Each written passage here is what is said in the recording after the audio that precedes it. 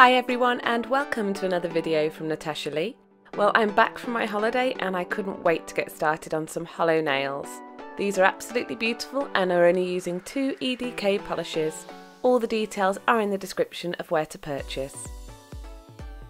As always we're going to begin by filing and performing cuticle work on the nails and then cleansing them with your preferred cleanser. I'm using 99% isopropyl alcohol. Don't forget to wipe around the free edge of the nails. Next we're going to apply our base coat and I'm using UNT's Ready for Takeoff Peel Off Base Coat. Apply to all 10 nails and then allow to dry thoroughly.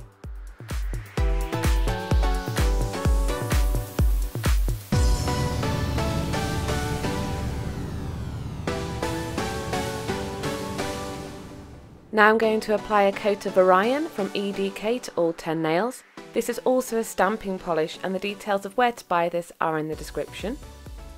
With this also being a stamping polish, it's incredibly highly pigmented, so you do have a choice here of doing two thin coats, or you could do one thicker coat which would actually give you a really good coverage. However, I'm a bit of a perfectionist, so I opted for two thinner layers.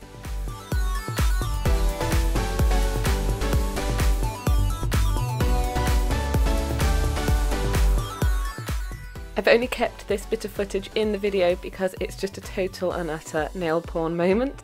I've wanted nails like this for years and I've finally got them. And don't they look pretty with purple on? Once the polish is dry, go in with your second coat of colour and apply to all 10 nails. Now after this coat it is really really important that you make sure that it's fully dry before you go on to the next stage otherwise the whole lot could be a total disaster.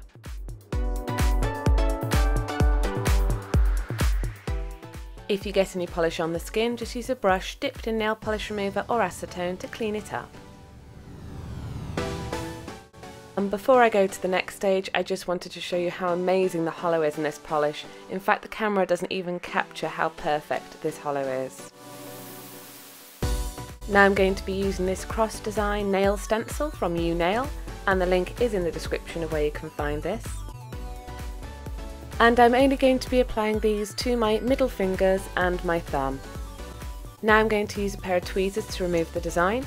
Being totally and utterly honest with you, this was the first time I decided to use nail stencils on my nail and I think I probably picked too complicated a design to use my first time because I really struggled to get this off cleanly. I also really struggled applying it to the nail and getting it nice and even.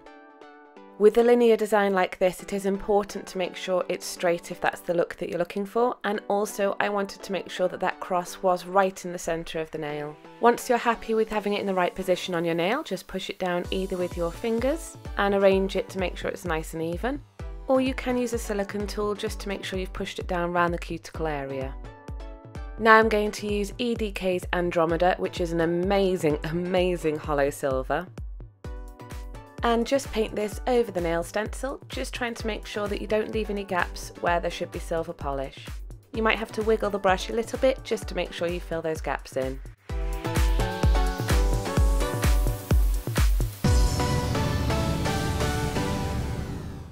Now for the slightly tricky part, or maybe it's just me because it was my first go. But start to pull off the stencil quite carefully and this is a little bit difficult but you have to do it as soon as you've applied your polish. Do not let your nail polish dry that you've painted over the top.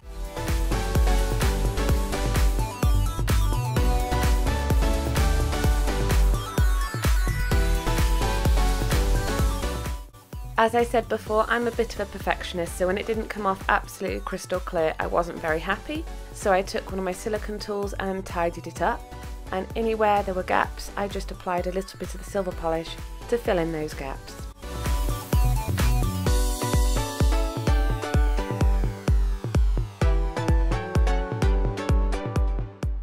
I thought I'd film me doing the same to the thumb just to see if I could get it a little bit better for you on camera this time.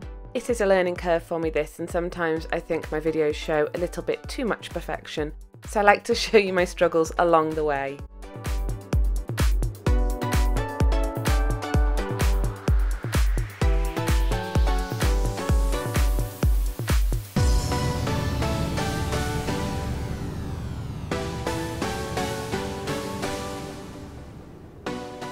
I also actually found it easier to apply and remove the stencils to the nails with my fingers and not tweezers, but I found it easier to remove them from the backing with a pair of tweezers.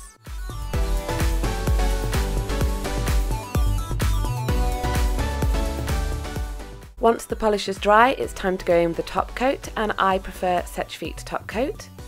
And we're also going to be using some Swarovski SS5 crystals in crystal, and my crystal katana to apply them. Full links are in the description for all the products. The two nails that we've left purple we're going to top coat and leave to dry.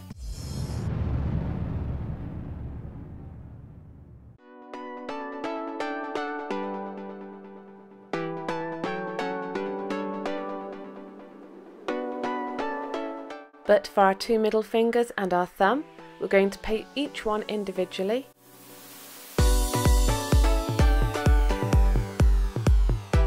And then while the polish is still wet, we're going to apply one of our crystals right to the centre of the design and gently push it down.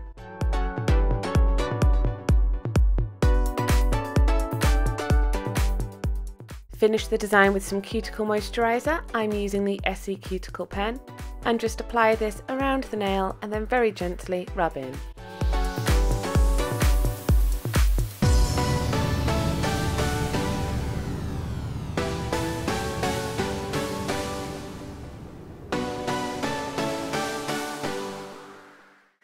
And here we have the finished look and it really does actually look very very effective. I hope it gives you some confidence to give this a go as you can see that even though the stencils were a little bit fiddly, it was my first time and I'm still happy with the end result. I'm sure with time I'll actually get better at applying and removing them. Let me know what you think of this design and let me know what you would like to see in the future. Please leave me a comment below and don't forget to subscribe and hit the like button. Thank you very much for watching.